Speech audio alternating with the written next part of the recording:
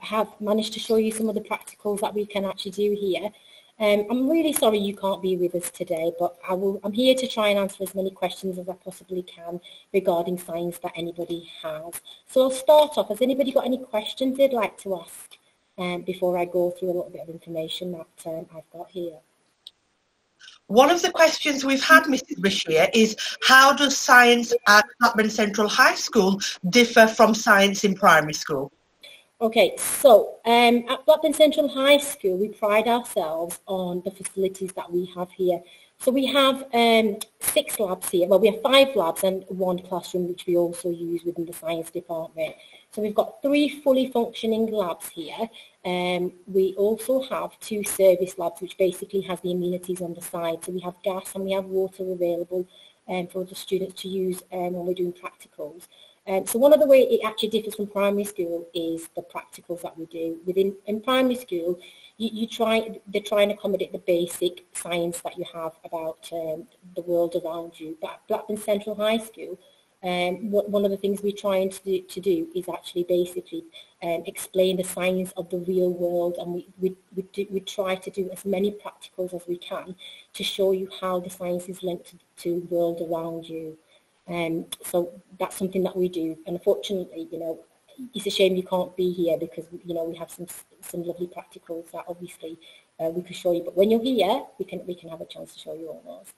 Okay, right. So I'll explain what we what we basically do here. So at Key Stage 3, um, we divide our Key Stage 3 course over 20 topics that we have. Um, and those courses, so I'll just show you some of the books that we have, okay? So we have um, a book one and a book two. So this is what we basically use over key stage um, key stage three.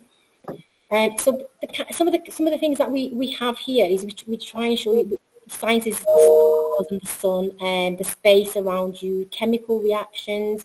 We have we learn about plants, we learn about the earth, we learn about the human body, magnets, electricity, light, um, and sound and acids and alkalis. They're just some of the topics that we basically do. So it's a little bit what you do at primary school, but we do a lot more and we do a lot more practical. So we really do hope that, you know, it entices you to become scientists of the future and get and, a career um, in, in a science career when you, when you move on after school.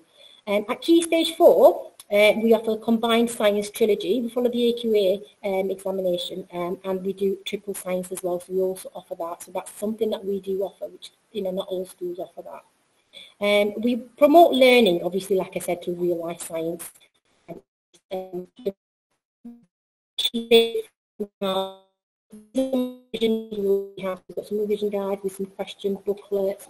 We have some cards, which I'll just show you as well. Okay, so these are all the cards, the flashcards. So we do have a lot of resources available here that obviously assist the learning um, at Key Stage 4 and also Key Stage 3. Anybody got any other questions for me? That's fabulous. Thank you very much. Okay, fabulous. Thank, Thank you very much. Thank you for watching.